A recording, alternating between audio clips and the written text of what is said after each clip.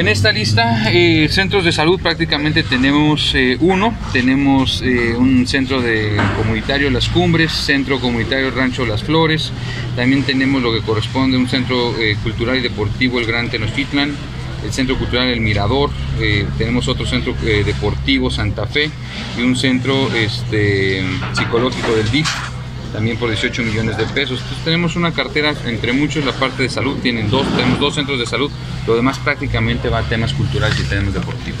Oiga, sobre, había un proyecto y bueno, en su visita pasada había comentado que lo iba a revisar sobre el proyecto para los afectados de Lomas del Rubí. Supuestamente dijo el delegado federal que pues iban a hacer como la nivelación y algunas otras actividades allá en el área de Santa Fe.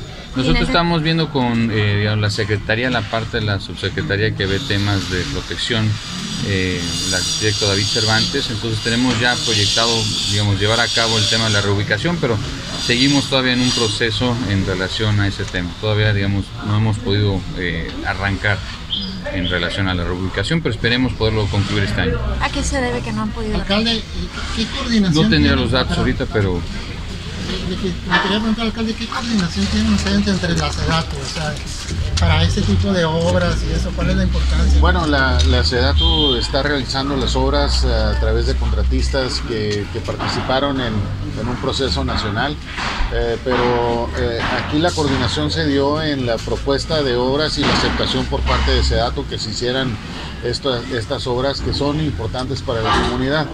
Y, ya el proceso de realización de las obras corre por cuenta completamente de ese dato y ya una vez concluidas se traspasan ya sea al municipio o al estado como lo acaba de señalar el secretario. Porque son comunidades de alguna manera que tienen características de vulnerabilidad, todas las que se están trabajando, ¿verdad?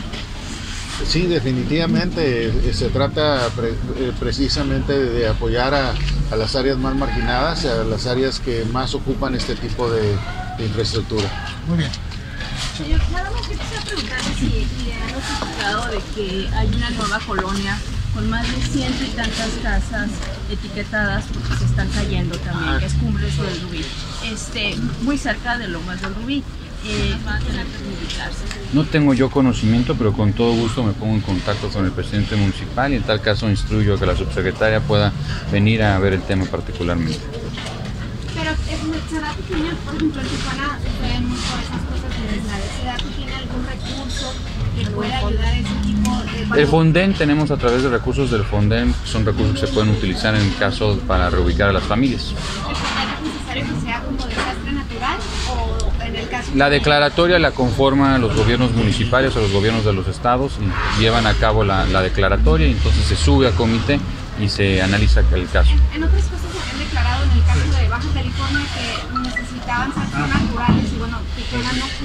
Perdón, no escuché. Zonas rurales. Sí. ¿Para el Fonden? No, no, no, el Fonden no necesita que sean zonas rurales. Porque en general, digo, en el caso de los sismos, ¿no? Este, puede ser afectaciones en cualquier parte, no tiene que ser rural, puede ser urbana.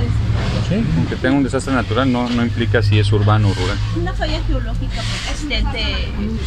Pues no, más bien, digamos, es un tema en que si hay afectaciones ¿no? en el subsuelo y por ende no afecta a las viviendas que están ahí, podrían obviamente tomarse en consideración. ¿Qué, proyectos tiene ese datos aquí en Tijuana? ¿Qué proyectos tiene? Ya los comenté, somos 15 proyectos, su gran mayoría son polideportivos, tenemos dos centros culturales, tenemos también dos centros de salud, como estos son 15 proyectos que estamos realizando. El más importante es el proyecto de Sánchez Taboada, que es un proyecto que vamos a concluir con recursos 2019, pero también con recursos 2020. Es un proyecto por arriba de los 100 millones de pesos. Gracias. En Tijuana hay muchas colonias que necesitan muchas cosas.